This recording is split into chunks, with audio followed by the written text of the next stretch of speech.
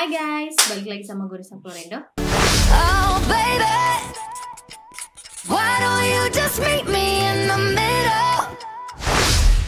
Jadi di video kali ini gue bakal share MT produk yang udah gue kumpulin di bulan ini. Jadi gue kayak nggak bikin yang per bulan per bulan ya. Pokoknya kira-kira udah banyak MT produk dan gue suka banget sama produk ini gue akan rekomendasiin ke kalian. Jadi produk semua yang gue pakai ini udah gue review di channel gue ini juga gitu. Jadi kalian pasti penasaran nih eh, ini gue pakai sampai habis atau enggak. Tapi sebelum gue mulai kalian tonton video ini dari awal sampai akhir dan jangan lupa buat di like video ini dan juga di subscribe channel ini dan nyalain juga loncengnya supaya bisa terus video terbaru dari gue Yuk kita langsung masuk ke videonya. Kau. Sorry kalau gue susah ngomong karena gue lagi sariawan. Kalian kalau sariawan pakai obat apa? Bisa komen-komen di bawah ya. Oke, eh, kita mulai ya. Dari facial wash dulu, karena biasanya gue cuci muka pakai facial wash. Oke.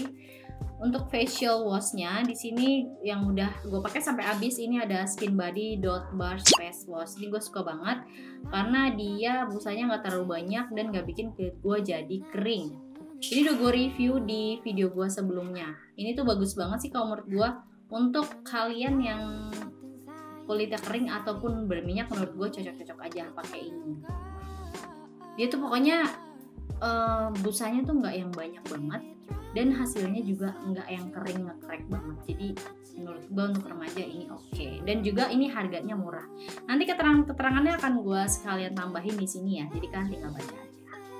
Next bisa setelah cuci muka gue itu pakai toner ataupun essence. Dan di sini gue punya dua essence yang udah habis.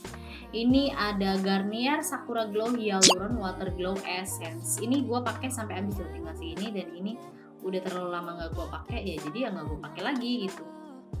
Ini udah habis bener-bener habis dan gue suka sih sama si Garnier Hyaluron Essence ini karena bener-bener bikin kulit gue tuh jadi lembab. Jadi dia kayak mengembalikan pH kulit gua yang sudah hilang setelah cuci muka. Jadi ini bagus banget.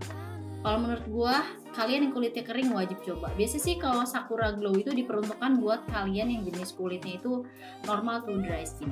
Oh ya, dan buat kalian yang belum tahu, jenis kulit gue ini normal to dry skin. Jadi buat kalian yang kulitnya sama kayak gua dan nonton video ini, pas banget.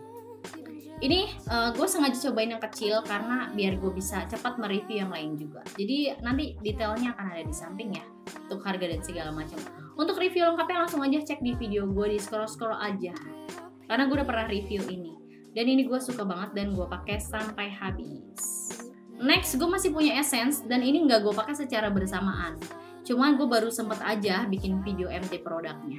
Ini adalah na Nasific Pitoniacin Vidoniacin gitu guys. Pokoknya susah lah nyebutinnya. Vidoniacin Whitening Essence ya, gitu ya guys. Ini dia uh, dari skincare Korea gitu ya. Dan ini gue bener-bener pakai sampai habis dan gue suka banget. Ini bikin kulit gue jadi lembab dan juga uh, glowing gitu. Gue suka banget sih sama essence ini. Dia juga nggak ada dampak buruk di kulit wajah gue pokoknya oke okay banget. Kalau kalian mau coba silahkan dibeli guys. Ini sih menurut gue harganya ya lumayan ya. Lumayan mengorek kantong. Karena gue ini dikasih sama Nasifik jadi gue bukannya lebay karena ini gue beneran pakai tuh sampai habis. Gue suka gitu. Boleh dikasih lagi. Kalau dikasih lagi. Sangat sangat suka nih uh, Nasifik thank you banget aduh gue suka banget bisa nyobain si Nasifik ini gue suka banget sih seriusan Next ya, biasanya setelah gue pakai serum, eh serum. Biasanya setelah gue pakai essence, gue lanjut ke serum wajah. Dan di sini gue punya dua serum wajah yang udah kosong, tapi gue baru bisa kasih tahu sharein apa MT produknya. Yang pertama ini, ini ada propolis B5 Glowberry Calming Serum dari Sambaimi. Ini gue dikasih sama Sambaiminya langsung. Menurut gue ini kemasannya agak nyebelin sih ya. Bukan cakep sih, cakep. Tapi sisa-sisa serumnya ini loh nggak bisa dipam lagi. Tuh, gimana cara gue ngepamnya susah banget. Jadi sisa-sisanya tuh bakal susah. Jadi gue buka, gue gini, gue keluar-keluarin supaya nggak ada serum yang tersisa. Karena ini sebagus itu dan bikin glowing kulit wajah gue apalagi buat kalian-kalian yang kulitnya udah uh, berfokus ke uh, apa? Kalau penuaan dini tuh apa namanya? Anti aging astaga jadi ini bagus banget buat anti aging terutama buat kalian yang kulitnya kering pasti cenderung gampang banget yang namanya garis-garis halus muncul terus uh, keriput kayak gitu. Ini tuh bagus banget karena dia benar-benar bisa melembabkan banget. Gue suka banget sih kalau sampai ini mau kasih gue lagi gue akan sangat dengan senang hati makanya ini kalau beli kayak sekitar 300an atau 200an gitu. Jadi menurut gue eh, lumayan mehong ya. Tapi memang sebagus itu sih harga nggak bohong. Next, nah ini gue beli sendiri. Ini Garnier Sakura White Hyaluron Booster Serum. Ini gue beli yang kecil karena gue udah banyak membuang-buang serum yang gak cocok di kulit wajah gue. Jadi gue coba yang ukuran sekecil-kecil mungkin. Kalau ada saset, gue akan pilih saset. Dan ternyata ini tuh cocok di kulit gue.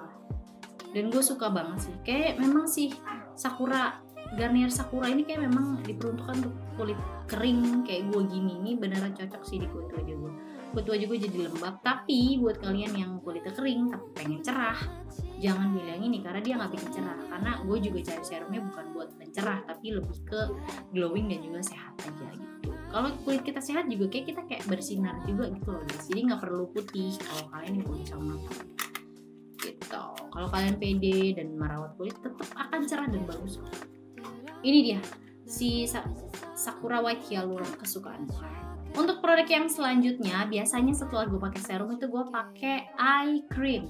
Nah, gue punya dua produk eye cream yang udah gue pakai sampai habis.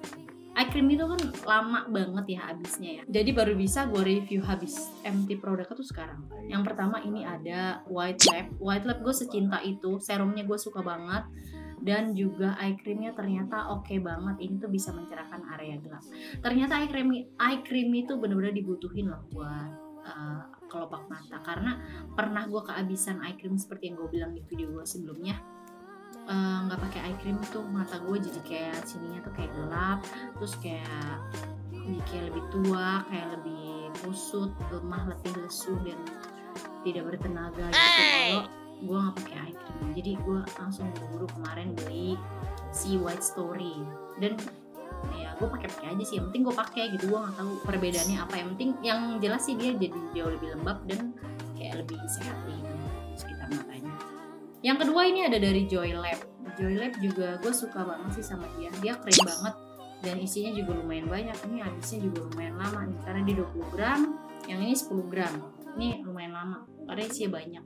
Kayak harganya sekitar 70 ribuan gitu deh. Kan mau info eh mau info mau review lengkapnya bisa cek di video-video gue ya next. Biasanya setelah gue pakai eye cream itu gue pakai day cream atau pelembab ataupun sunscreen. Biasanya gue pakai sunscreen dulu sih baru day cream. Untuk sunscreen yang habis ini yang ini si Wardah SPF 50 sebenarnya sih dia uh, gue kurang suka karena dia terlalu minyakan banget dan berat di wajah greasy gitu. Uh, tapi ini gue paksa pakai aja gitu karena sayang sayang banget gitu jadi gue habisin. Walaupun gue kurang suka sih sama teksturnya karena yang greasy tadi itu. Tapi karena SPF nya besar dan PA nya tinggi jadi tetap gue pakai sampai ini sih nggak terlalu banget. Ini nggak cuma gue pakai di wajah jadi gue pakai di tangan. Karena gue sering kayak naik motor gitu supaya tangannya nggak gosong sendirian gitu. Jadi dia gue pakein di tangan makanya cepet habis. Kalau di muka doang gue nggak pakai yang terlalu banyak karena dia greasy di wajah. Sayang banget ya. Padahal dia no white cast loh tapi kalau greasy gue tetap nggak nyaman gitu sih next abis pakai sunscreen biasanya tuh gue pakai uh, day cream nah ini ada Natura Pal. Ini tuh enak banget sih dipakainya. Dia teksturnya ringan banget, bening juga seperti skincare skincare yang gue suka yang bertekstur bening. Ini tuh gel, gel biasanya cocok juga buat kalian yang kulitnya kering. Eh kering, buat kalian kulitnya berminyak. Tapi di gue gue juga suka sih karena kan sunscreen biasanya udah berminyak ya. Terus pakai ini yang gel, jadi pas gitu di wajah.